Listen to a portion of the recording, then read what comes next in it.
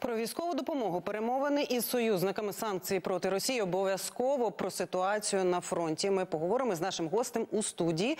Це Єгор Чернів, заступник голови парламентського комітету з питань нацбезпеки, оборони та розвідки. Я вас вітаю в нашій студії. Вітаю. Отже, як було сказано у сюжеті, Пекін, заява посла. Е, Пекін офіційно вже відсторонився, дистанціювався і назвав е, цю позицію особистою позицією посла. Однак, е, як вважаєте, такого рівня дипломати вони можуть собі публічно дозволяти такі заяви? Для чого проголошують такі заяви? Я думаю, що ми маємо це побачити по реакції щодо посла власне в Китаї, тому що навряд в такій централізованій країні, як Китай, без якогось без якоїсь відповідальності можна особисто висловлювати такі позиції. І якщо така відповідальність буде, тобто його покарають, відсторонять, е, е, запросять назад до, до Китаю, то це можливо особиста позиція. Але якщо такої реакції не буде, то скоріш за все Китай просто прощупує, чи можна а, заходу закидати такі речі. Чи навіть натякає про те, що якщо ви не будете співпрацювати і чути нас, то ми будемо переглядати статус-кво щодо взагалі е, територіальної ціл- цілісності та суверенітету щодо підходів, які закріплені в ООН в тому числі. Тому тут цікаво буде по- спостерігати ще на деякий час саме за послом Китаю. А що на вагах ринки збуту для Китаю європейські? На вагах перегляд е, взагалі е, мирового порядку, світового порядку. Це, це ж про, про і війну в Україні в тому числі. Ви ж бачите, як поляризується світ, хтось наближається до Китаю. Китай намагається виступати таким а, примирювачем Ірану та Саудівської Аравії, Аравії, е, які не були е, ну, постійно в конфлікті були. Зараз Китай намагається впливати на глобальний південь. Під, під, підминати під себе Африку, і тут е, поляризація країн іде, ну мовно кажучи, з західного блоку з демократіями і авторитарного блоку з Китаєм. І ось про це зараз йдеться на, на- сьогоднішній день по, про перегляд світового порядку. Знаєте, всі наші дипломати, от колишній посол в Китаї, вони зауважують, що дипломатія китайська вона особлива. І е, оця позиція е, переговорника, як ви кажете, так е, примирювача, е, вона ж е, не яскрава, а така поступова.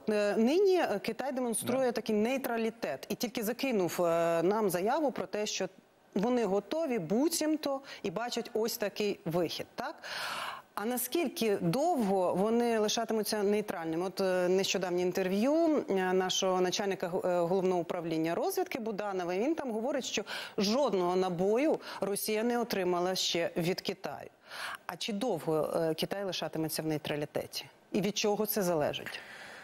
Ну, давайте згадаємо те, що Китай за всю свою історію, ось 20-те та почати, ну, ну, мабуть, що 20-те сторіччя, був тільки е, в цей період не на е, не одним з основних гравців в світі. Він завжди протягом півтори тисячі років був е, одним з таких центрів тяжіння держави в державі самостійною. І це завдяки стратегічному баченню розвитку. І зараз вони стратегічно бачать, куди їм йти, і вони пропрацьовують всі ці всі поточні проблеми через своє бачення майбутнього на 15, 20, 30 років. І сьогоднішня війна в Україні це як така маленька ланка в тому, що вони е, бачать себе якими гегемонами чи е, потужною державою.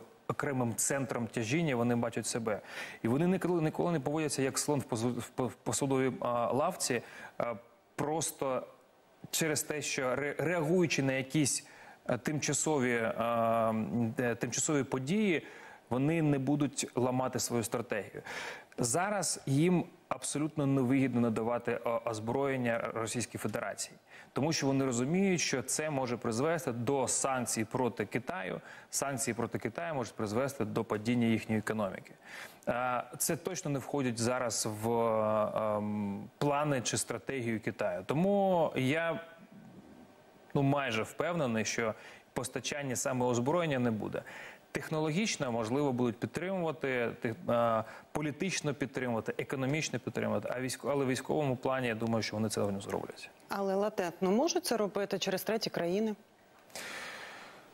А, Третіх країн не так багато, які можуть в принципі постачати озброєння Російської Федерації. Це та сама Північна Корея, наприклад, або Іран.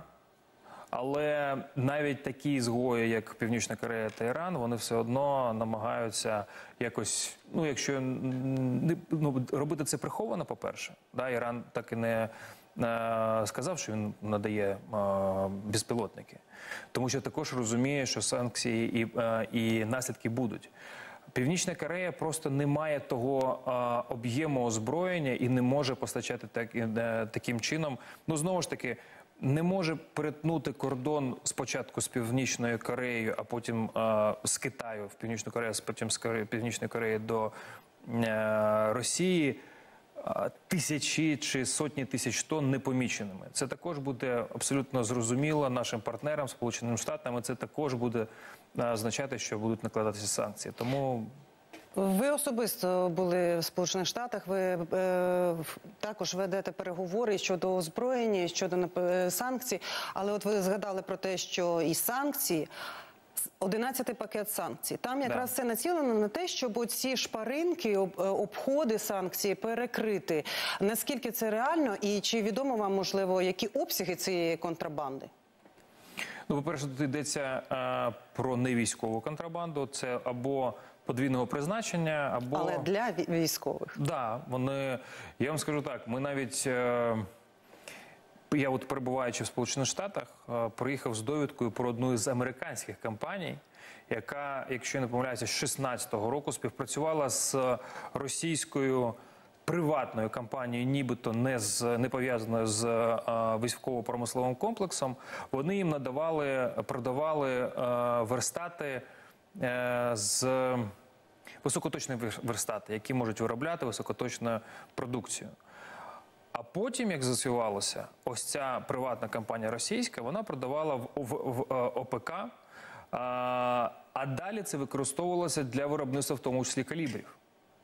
І ми передали цю інформацію Сполученим Штатам. Сполучені Штати далі будуть, я думаю, що накладати санкції на цю компанію, тому що навіть е, до 24 лютого була заборона щодо постачання будь-яких комплектуючих для е, військово-промислового комплексу. Е, Зараз є дійсно паралельний імпорт. Є через Арменію, наприклад, через інші країни ОДКБ. А, на сьогодні це такі товарні об'єми, тобто досить великі об'єми. Дійсно, вони ем, дещо перекривають той попит, який сьогодні є в Російській Федерації. Але все одно, і, і якщо ми це е, прикриємо, то це вже там будуть невеличкі об'єми. Це е, здорожчить логістику, це буде означати повторні е, м, вторинні санкції на ті компанії, які знаходяться е, в тих країнах, які е, намагаються допомагати Російській Федерації і паралельним імпортом. Тобто, ось ці всі шпарини, якщо ми прикриємо, то економіці Російської Федерації все ж таки буде набагато гірше. Ми перервемося на сюжет, а потім продовжимо. Все пішло не за планом. Це про російську делегацію в ООН. Лавров вирішив не останнє засідання в Радбезі приїхати до Нью-Йорка особисто. Та шлях туди був тернистим. Російський дипломат та його делегація візи до Америки отримали в останній момент. При цьому кремлівським пропагандистам у в'їзді відмовили. Це неабияк розізлило пу- путінського дипломата, і він пригрозив помститися. Євген Бригар розкаже докладніше. Уважаемые коллеги, мы Шановні колеги, ми знову, як і в роки холодної війни, підійшли до небезпечної, а може ще більш небезпечної межі. Вашингтон та його союзники відмовляються від дипломатії та вимагають з'ясування стосунків на полі бою. Все це у стінах ООН, створеної для запобігання жахам війни. Лицемірні та погрожуючі заяви частина спічу Лаврова. Однак його пригнічний настрій можна зрозуміти, адже в Америку він прилетів без своїх посіпак з мікрофоном. Російській пресі не видали візи та не допустили до висвітлення засідань в ООН. будьте Будьте певні, не забудемо, не пробачимо. Доведеться нам і за вас працювати, проявляти більше енергії, прикладати більше зусиль, щоб донести правду до світової громадськості. Правда, яку Лавров викладав на засіданні ООН, звичайна російська методичка. Світ руйнується, а росіяни чи не єдині, хто може його врятувати. У яку правду вірить більшість світу, сказав генсек ООН Антоніо Гутереш. Напруженість між великими державами досягла історичного максимуму. Які ризики конфлікту через нещасні випадки чи прорахунки, вторгнення Росії в Україну і порушення статуту ООН і міжнародного права спричиняє величезні страждання та руйнування країні та її народу. Лавров почути заперечив, неодноразово згадуючи київський режим українських нацистів та НАТО, яке чомусь розширюється, і усе це лише в перший день засідань. Вислуховувати ображеного дипломата країнам-членам ООН доведеться і сьогодні. Однак питання на чиї долі випаде таке випробування. Наступне засідання має відбутися на рівні міністрів закордонних справ, але існує висока ймовірність, що країни-члени не пристануть на запрошення і знизять рівень свого представництва в ООН. Зокрема, саме так зроблять американці. Про це пише видання Політико, посилаючись на одного з чиновників держдепу. Це означає, що на деякі засідання направляються дипломати нижчого рангу замість посла США Лінди Томас Грінфілд. Ці дипломати у ключові моменти залишили засідання. Те, що Росія є постійним членом Радбезу після того, як вона грубо порушила статут ООН, божевілля. І це одна з багатьох причин того, що Радбез та ООН загалом потрібно реформувати. Головуватимуть в ООН росіяни до кінця цього тижня. Сьогодні ж по обіді Лаврову доведеться давати слово представникам інших країн. І є висока ймовірність, що йому, як і раніше його колезі Василю Небензі, доведеться вислуховувати від міжнародних чиновників усі претензії. А втекти з залу засідань за кілька хвилин, як у вересні минулого року, вже не вдасться. Євген Бригер, подробиці телеканал Інтер, марафон. Єдині новини.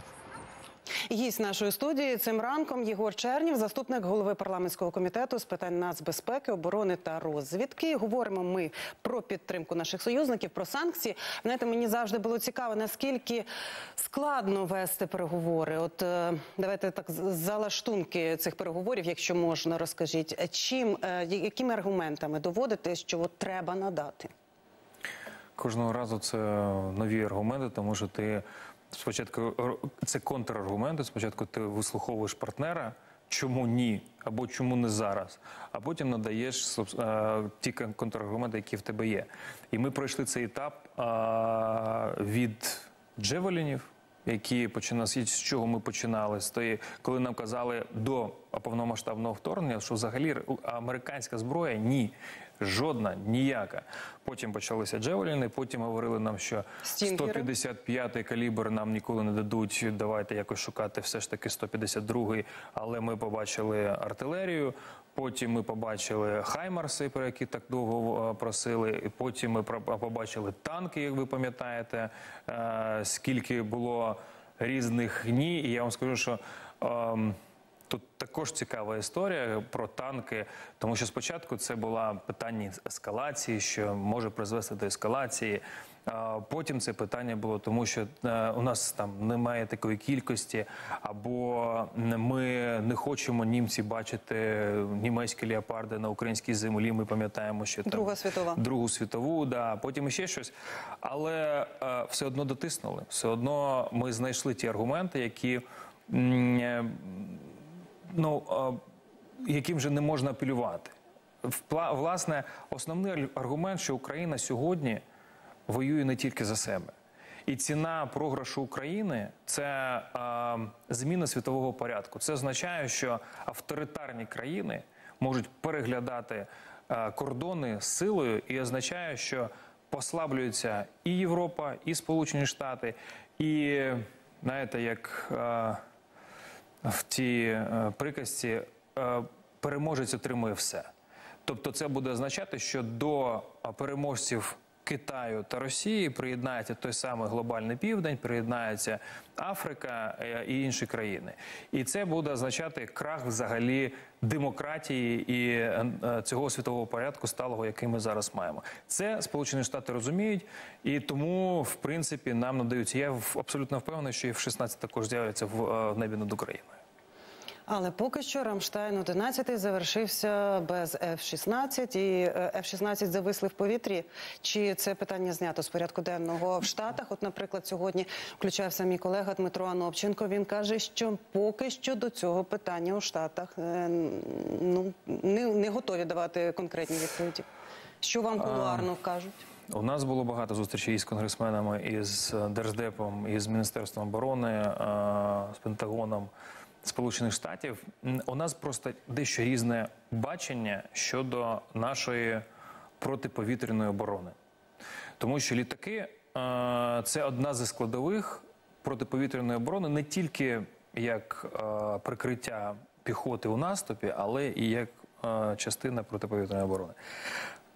І, до речі, доктрина Сполучених Штатів говорить про те, що основною складовою є якраз таки літаки. А протиповітряне чи протиракетне е, озброєння і комплекси вони є е, другорядними, є допоміжними.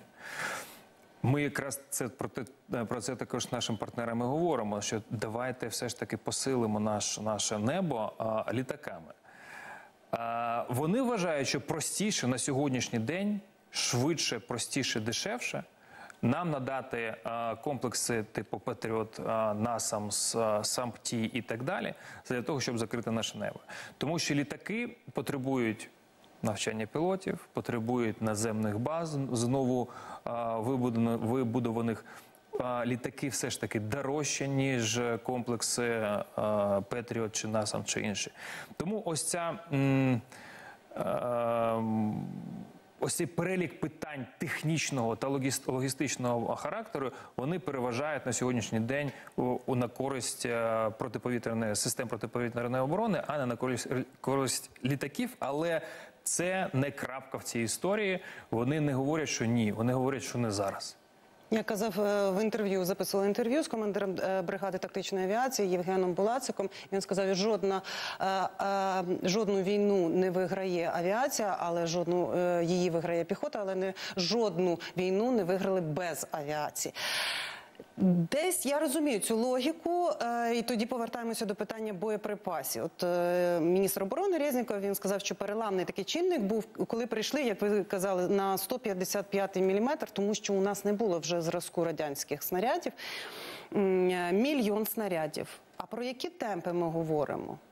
От наскільки нині готова Європа і потужності її забезпечити нас цим мільйоном до ну в рамках цього року? Дуже цікаве запитання, тому що ем, тут є проблема. Тут є проблема в тому, що останні 30 років е, країни після розвалу Радянського Союзу, після закінчення е, холодної війни, просто скорочували свої армії, скорочували виробничі потужності, сподіваючись, що все, в принципі, в Європі немає загрози, немає агресорів. Всі ну, ми дружно живемо, і Росія також буде нашим партнером. Тому тут простіше говорити про Сполучені Штати, які вже збільшили свої потужності 155-го калібру. Ми про це якраз таки і е, говорили з заступницею е, міністра Пентагону Лорою Купер. Вони кажуть, що ми ми вже збільшили, але і будемо збільшуватися надалі. І ми допомагаємо на сьогоднішній день і нашим партнерам в Європі для того, щоб вони збільшували виробничі потужності. Але це не робиться за один день процес іде. Я думаю, що ми і тут позитивно те, що у нас іде все це по наростаючій, а у Росії по спадаючій. Оце наступне питання. Хотіла ви, як член е, комітету з нацбезпеки, напевно, маєте розвітання, доступ до розвітальних. Е, який в них е, стан в арсеналі? Ем, тут потрібно розділити, тому що, наприклад, 152-й м, калібр, вони можуть виробляти ще. Це простий калібр, це простий боєприпас, це а, болванка з порохом. А, щось більш складне вони не можуть, тому що санкцій, тому що в них немає достатнього імпорту. І по нашим даним, на сьогодні у них залишається ще десь приблизно 16 заводів по виробництву снарядів. Але все одно ці снаряди і ці виробництва не покривають їхні потреби на те, що вони використовують сьогодні на полі бою. І в них також є снарядний голод. Про те, що відбувається на полі бою, зараз подивимося сюжет моїх колег. Окупанти підтягнули до Авдіївки танкові підрозділи. Вони намагатимуться взяти місто штурмом. Про це повідомив полковник Сил оборони Олексій Дмитрашківський. Зокрема, він зазначив, що останніми днями противник значно збільшив інтенсивність обстрілів Авдіївки. Тривали позиційні бої також на Бахмутському, Вугледарському, Мар'їнському напрямках та в районі Кремінної Сватового. Докладніше розкаже Євген Соломін. Перекур окупантів у Ровеньках цього разу забавовнило на нафтобазі окупованого у 2014 році місті. Ровенчани твердять, що перед вибухами чули звуки у небі. Їх ідентифікували як безпілотник. Потім пролунав перший вибух. Далі на нафтобазі все почало палати і детонувати.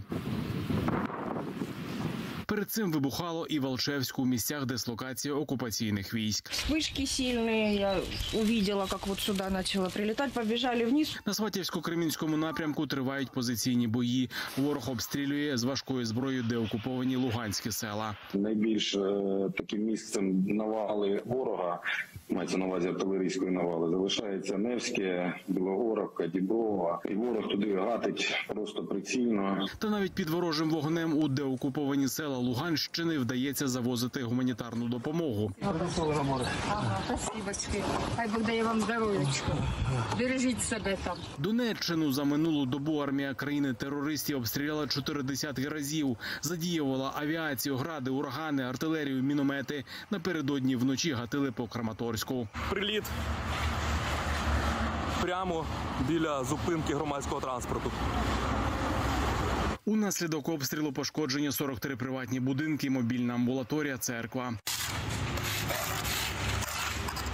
Під вогнем рашистів і слов'янський напрямок саме місто цього разу не постраждало. Проте кожен новий обстріл це поранені та вбиті. Ці обстріли наносять колосальний велику шкоду, тому що в місті зараз знаходиться багато мешканців, значно більше ніж влітку 22-го року.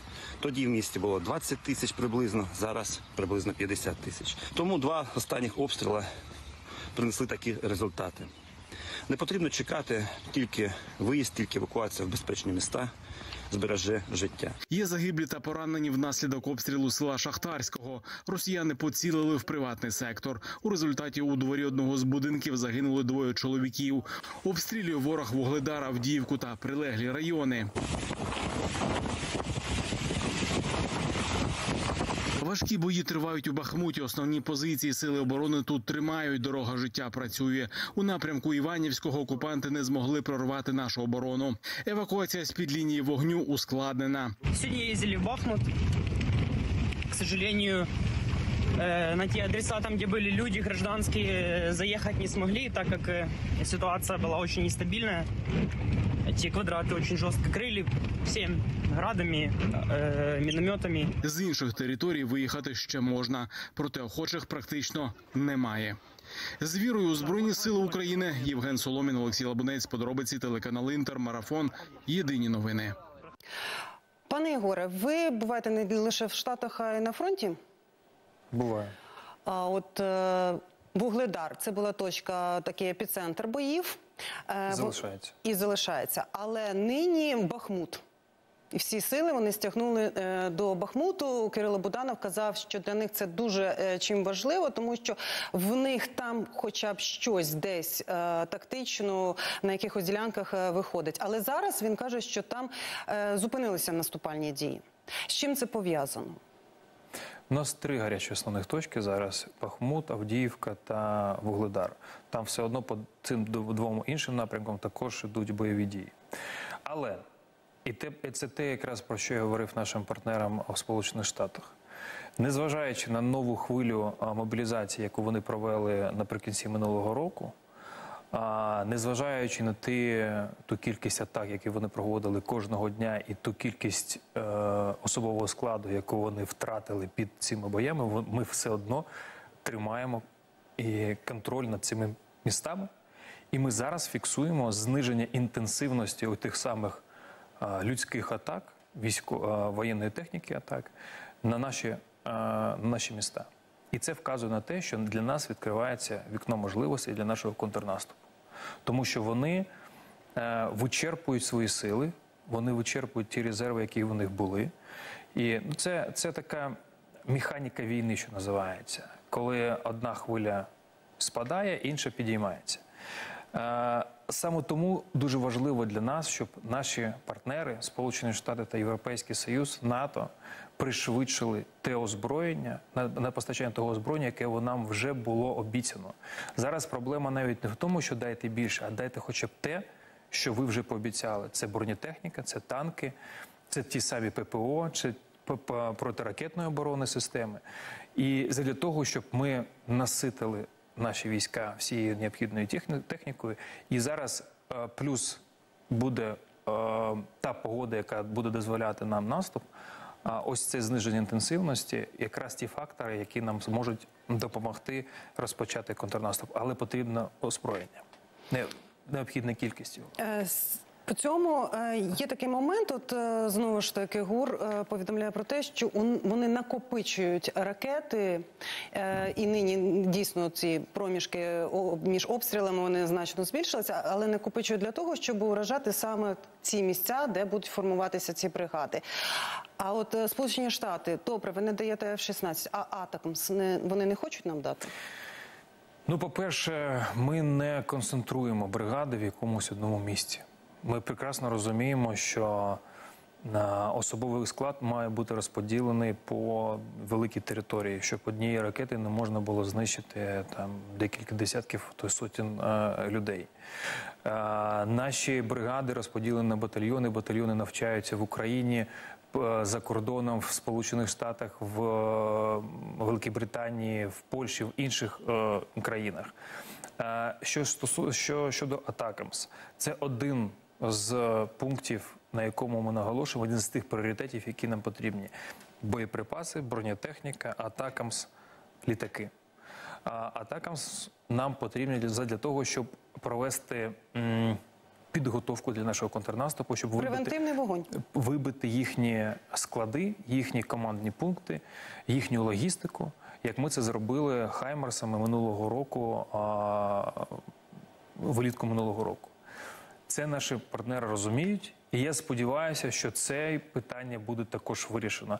І я ну по, по деяких сигналах я бачу, що це буде набагато простіше, ніж отримати на сьогодні, наприклад, F-16. Тобто, це питання вже я сподіваюся, що вже майже вирішено. З вашого досвіду переговорника, ви знаєте, як про контрнаступ, моє особисте е, точка зору. Чим більше про нього говориш, е, тим е, воно відтерміновується, бо не стається те, про що говориш. Так само і про такі види озброєння. А може бути таке, що щось вже йде процес, просто про це не говорять. Не те, що може бути, воно так і є. Ну, це- це додає оптимізму. Авдіївка.